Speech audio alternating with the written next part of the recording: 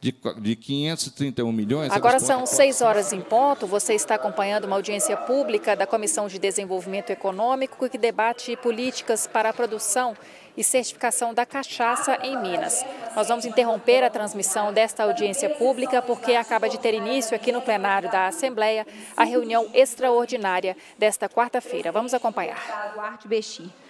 Às 14 horas e 1 minuto, havendo número regimental, o presidente declara aberta a reunião. Comparecem os deputados Duarte Bexi, Adriano Alvarenga, Arley Santiago, Binda Ambulância, Bosco, Bruno Engler, Carlos Henrique, Celinho Centrocel, Charles Santos, a deputada Chiara Biondini, os deputados Coronel Henrique, entre outros. O deputado Bosco, segundo secretário ad hoc, procede à leitura da ata da reunião anterior, que é aprovada sem restrições. O deputado Roberto Andrade, primeiro secretário ad hoc, lê a correspondência constante de ofício. Isso posto, a presidência passa a receber proposições, quando lhes são encaminhadas a proposta de emenda à Constituição número 18 de 2023.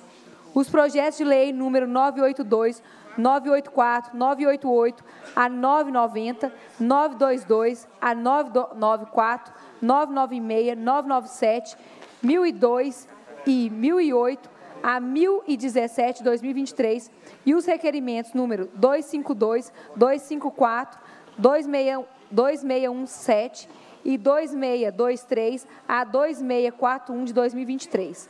Até onde, Luísa? Ah, tá. Deixando de ser recebido nos termos do inciso 2 do artigo 173 do Regimento Interno. O requerimento número 837 de 2023. A seguir, suscita questão de ordem o deputado Coronel Sandro, solicitando o encerramento da reunião por falta de número regimental.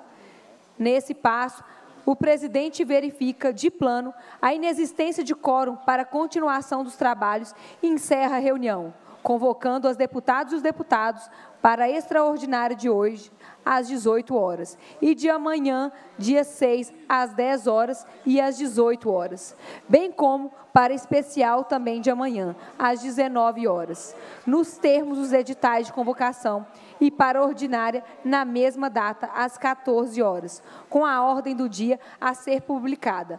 Levanta-se a reunião.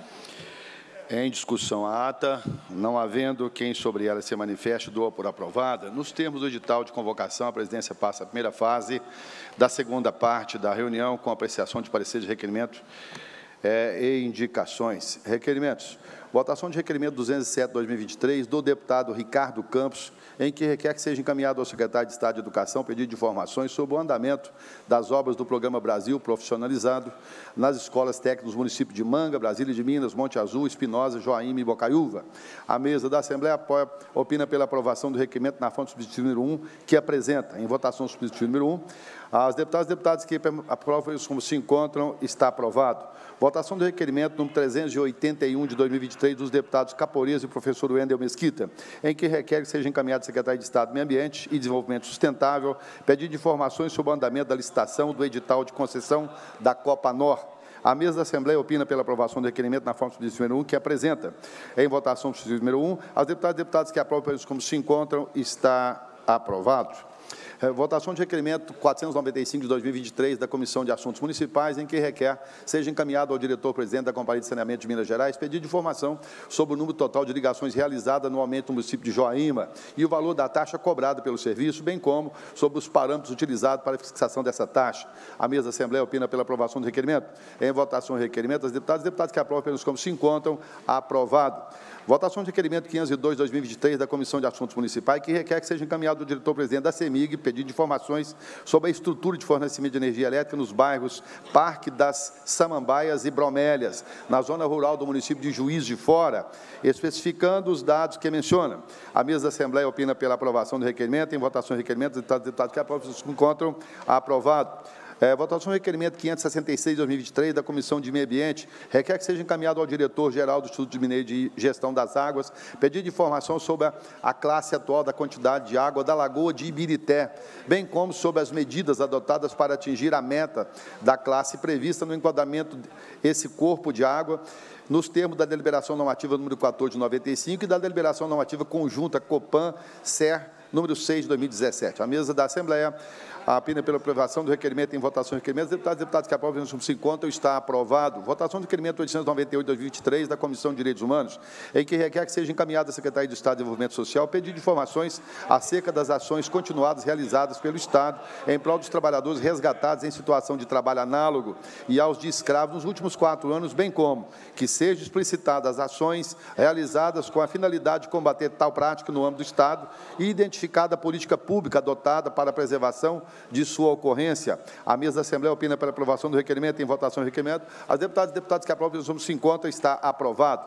Votação do requerimento 1540 2023 do deputado João Vitor Xavier, em que requer que seja encaminhada à Secretaria de Estado de Meio Ambiente e Desenvolvimento Sustentável pedido de informação sobre os valores dos milímetros por hora e milímetros por dia que são considerados como precipitação decaminelar para efeito do cálculo dos vertedouros das barragens de rejeitos localizadas na região metropolitana de Belo Horizonte.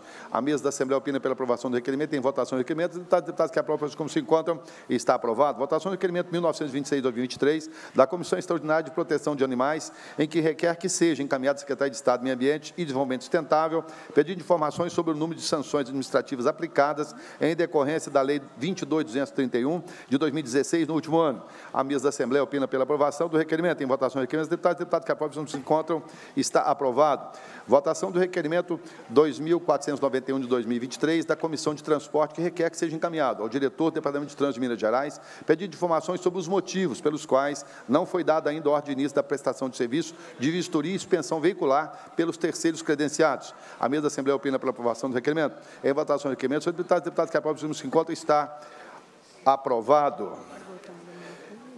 Esgotada a matéria destinada à primeira fase, a presença para a segunda fase da segunda parte da reunião, com discussão de votação de matéria constante na pauta. Com a palavra, o deputado Noraldino. Senhor presidente, eu peço encerramento de plano por falta de quórum.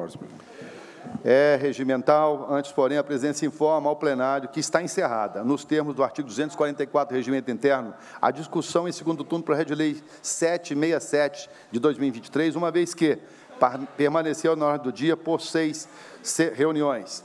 A presidência encerra a reunião e convoca os deputados e deputadas para reuniões extraordinárias de amanhã, dia 6, às 10 e às 18 horas.